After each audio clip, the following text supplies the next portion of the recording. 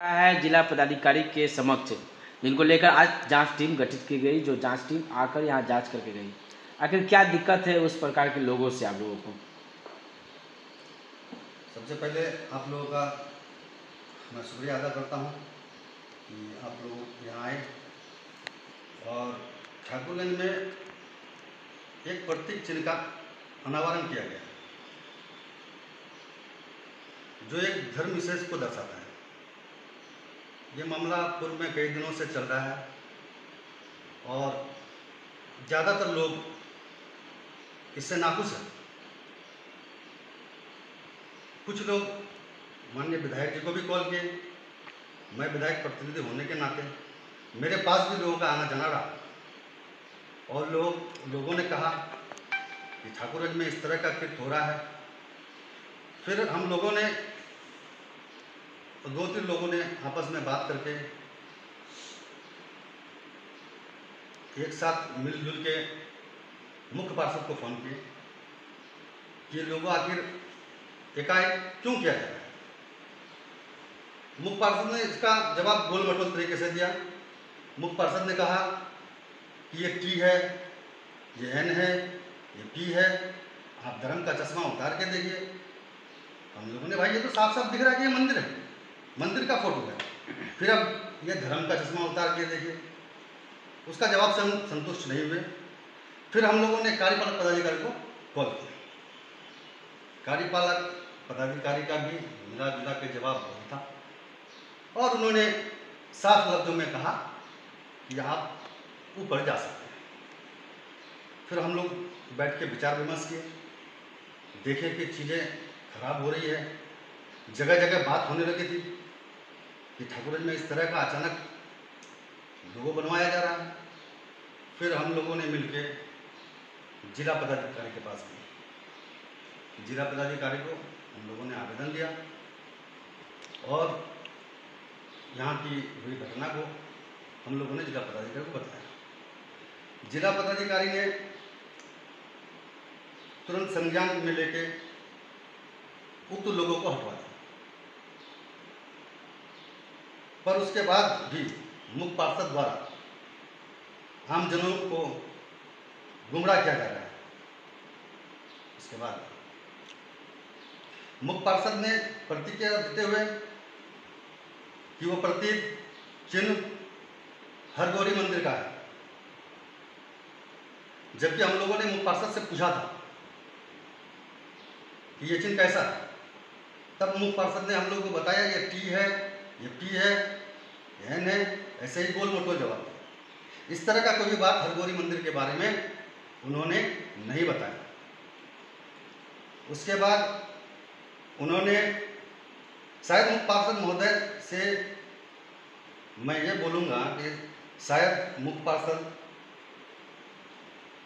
श्री हरगोरी मंदिर का दर्शन अच्छा से मैं उनसे गुजारिश करूँगा कि आप हरगौरी मंदिर को, हरगोरी मंदिर का अच्छा से दर्शन करें।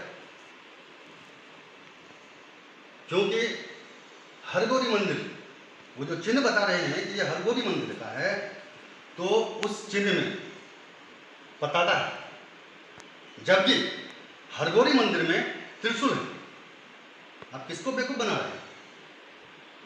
आप नगर के नगरवासियों को बेवकूफ़ बना रहे हैं? आप इस चिन्ह को लेके नगरवासियों को बेवकूफ़ बना रहे हैं। आपके समय भ्रष्टाचार के जो कार्य हो रहे हैं, उसको छुपाने के लिए आपके षडयंत्र रहे हैं। आपके इस षडयंत्र से क्या हो सकता है? शायद भूल गए हैं। आप दूसरे को बोलते हैं कि जानकारी का अभाव, पहले तो आपको जानकारी की ज़रूरत है। आपको जानकारी नहीं है। आप इतिहास की बात करते हैं हरगौरी मंदिर की बात करते हैं। ठीक है, बहुत अच्छी बात है, इतिहास है। रविंद्रनाथ ठाकुर के वंशज ही इसकी स्थापना की थी। तो पार्षद जी, अपना राजनीतिक चमकाने के लिए हिंदू, मुस्लिम हम लोग भाई भाई हैं और शुरू से हैं। सब लोग एक दूसरे का मान सम्मान करते हैं। यहाँ के सभी मुस्लिम मंदिरों का आदर करते हैं। यहाँ के सभी हिंदू मस्जिद का सम्मान करते हैं। आप चीज़ों को इस तरह से करना और मैं आपको ये बोलना चाहूँगा कि इस तरह का आप एक संविधानिक पद पे बैठे हैं और इस तरह का किट कहीं से भी आपको शोभा नहीं देता। और आपको बोलने का तरीका नहीं है।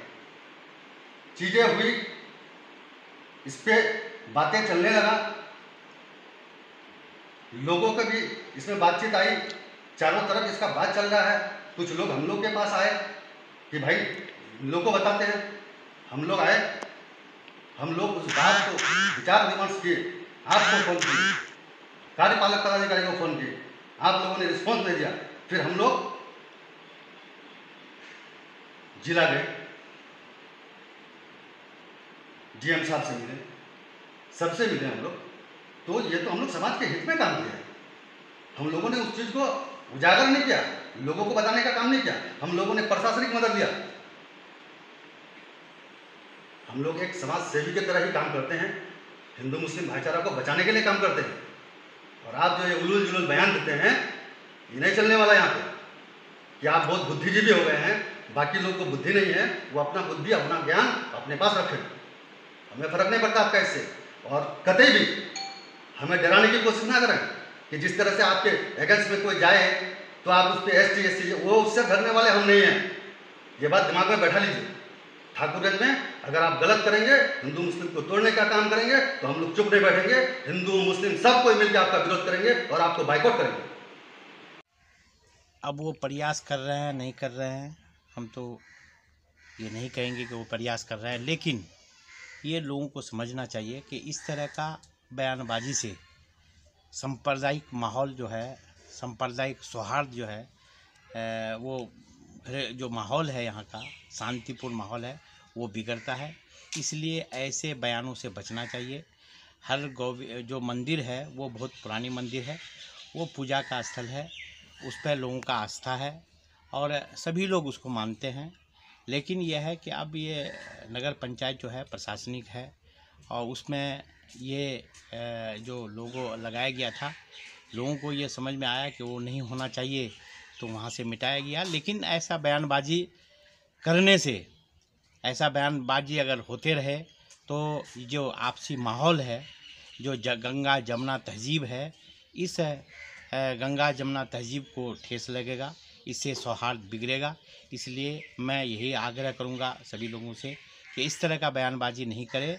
प्रशासन भी देख रहा है, प्रशासन जो उचित समझेगा, वो करेगा। लेकिन इस तरह का जो लोगों का इस्तेमाल है, वो तो मंदिर है। मंदिर सबके लिए सब लोग मंदिर को सभी लोग उसको मानते हैं कि भाई मंदिर है तो एक पुरानी चीज़ है। उसकी जगह जो जहाँ है, वो है। जो लोग उस पर आस्था है, उसको पूजा करते हैं। लेकिन यह है कि इस तरह का बयानबाजी लोग नहीं करें। मैं यही लोगों से आग्रह करूँगा। सर्वप्रथम तो मैं आपके चैनल को बहुत बहुत धन्यवाद दे रहा हूँ। जो सौ समय आप लोग जो है, एक से एक ज्वलंत मुद्दा को उठाते रहते हैं। इसके लेकर के सर्वप्रथम तो हम आपके चैनल को बहुत बहुत धन्यवाद देते हैं। अब रह गई आपके सवाल। देखिए ये ठाकुरगंज, ये किशनगंज जिला तो आप ये कह लीजिए गंगा जमुनी तहजीब के नाम पे किशनगंज जिला ऑल ऑफ़ इंडिया भारत के संपूर्ण भारत में किशनगंज जिला एक अपने जगह में अब मिसाइल है। यहाँ अपना ये मिसाइल रखे हुए है जो गंगा जमुनी तहजीबी पर तहजीब पर कोई भी आँच न आने दिया है और उम्मीद है कोई आँच आएगा भी नहीं। और कुछ लोग का काम है अपना रोटी सेकने का।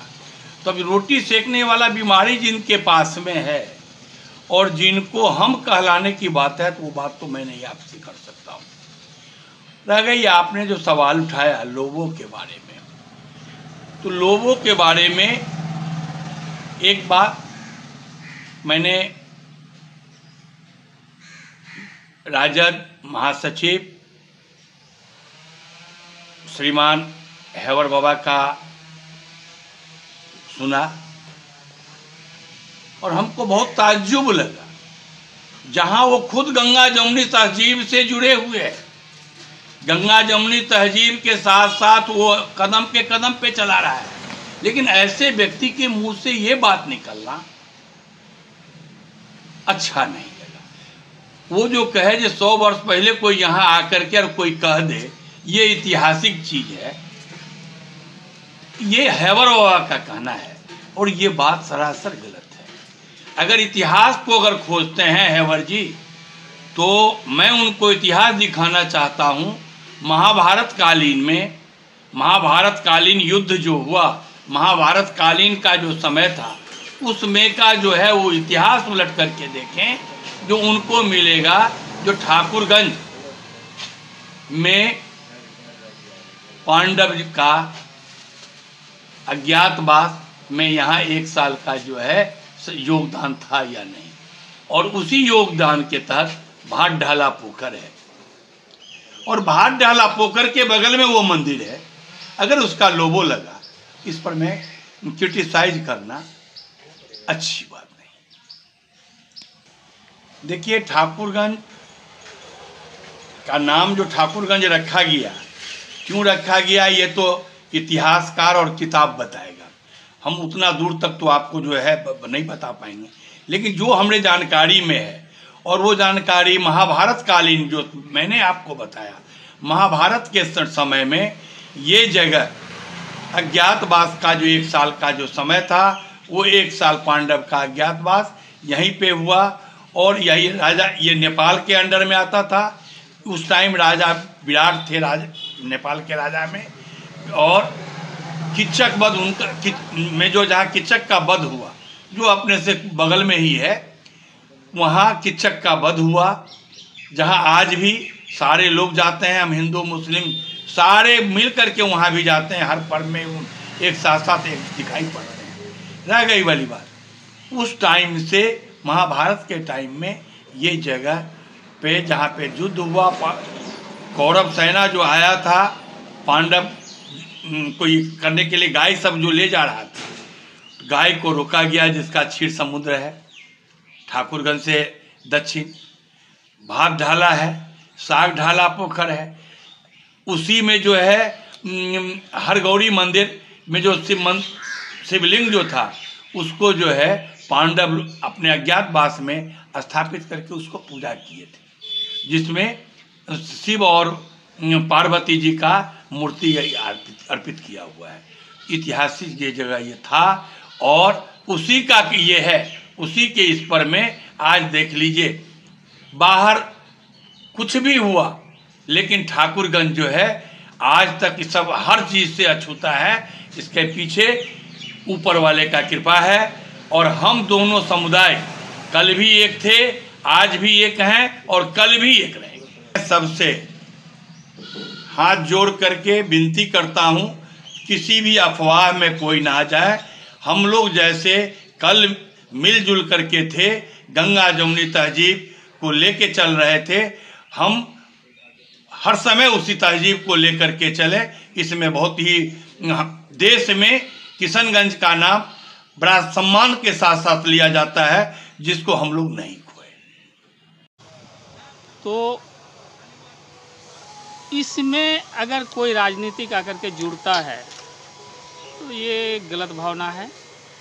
और हम यही कहेंगे कि किसी मंदिर, मस्जिद या फिर किसी सरकारी दफ्तर में इस तरह का लोगो लगना मेरे विवेक के खिलाफ और मैं कहूँगा कि ये आपसी सौहार्द और, ये जाति भेद का मामला सामने आ जाता है। इसलिए हमारे स्थानीय नेताओं को चाहिए कि ऐसा नहीं करके जिस तरह से हमारा ठाकुरगंज गंगा जमनी तहजीब बन करके चल रहा है, इस तरह से चलने दें और इसमें तानाकसी ना करें और तानाकसी अगर करते हैं तो ये उनकी मनमानी होगी और ऐसा ना करें, यही